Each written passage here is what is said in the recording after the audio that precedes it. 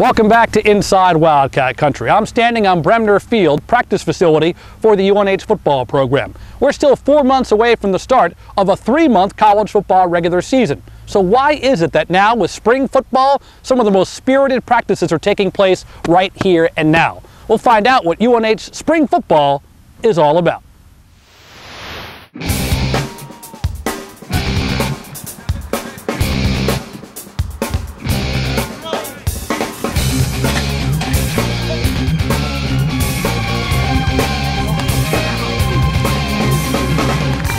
Just four months removed from its nation leading eighth consecutive FCS playoff appearance, the UNH football team is back on the gridiron for the spring edition of Wildcat football.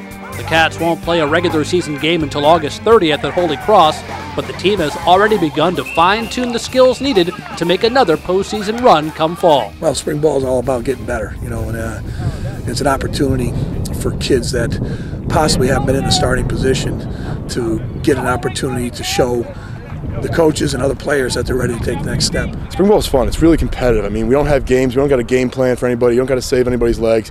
You can hit, you can smash every period. It's it, it's fun. I mean, it takes a wear and tear, and it's kind of like camp, preseason camp. But it's it's fun. It's competitive. Guys are fighting for spots all over. Nobody's spots is, is secure. It, it's a fun time out here, and the coaches coaches make it fun for us too. It's it's tough. You're a little rusty after a couple weeks in, running in the indoor track and lifting and stuff.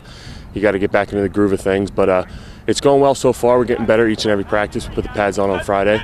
Uh, we had a physical practice on Friday, and we came back out this morning. I thought uh, we ran around pretty well. You know, we're out here early this year. It's a difference from last year, but the intensity's still there.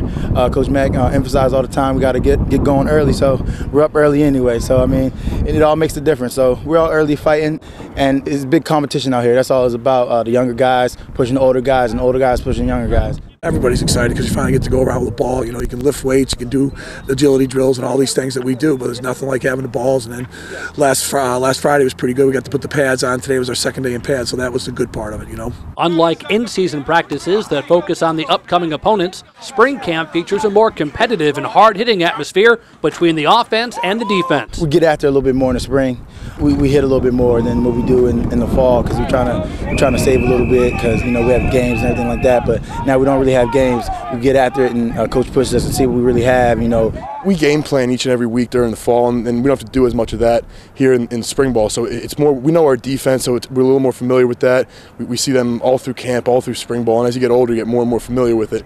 So it, it's a little bit different. The practices are more physical because you don't need to save legs for Saturday, and it's more competitive between the offense and the defense. We see the defense each and every each and every period, whereas we don't see them as much in, in the in the fall practice because we're game planning for James Madison teams like that. So we're just focused on ourselves, getting better at each position, uh, offensively, defensively, special teams. We, we uh, put a big emphasis on special teams in the spring.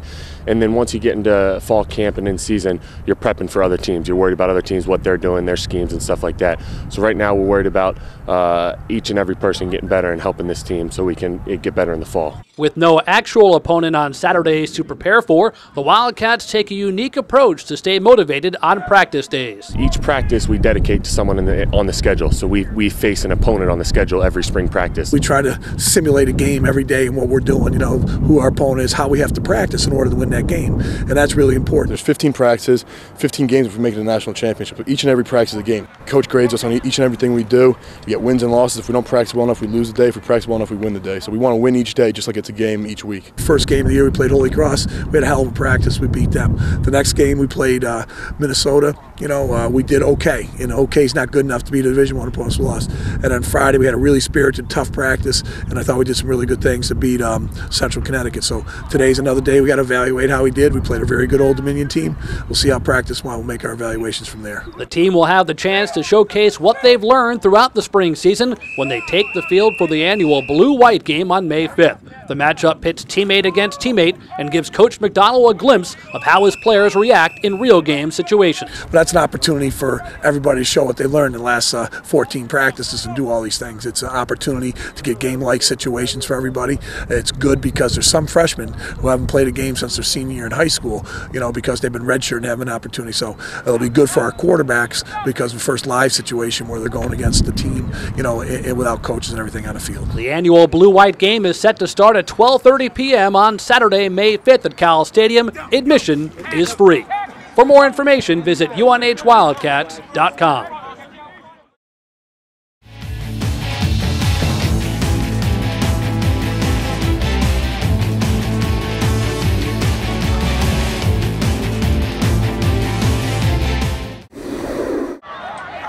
Decker with a snap. Gives to Steriti. Sweep to the right side. 15, 10, 5. Touchdown! Steriti, 18 yard run.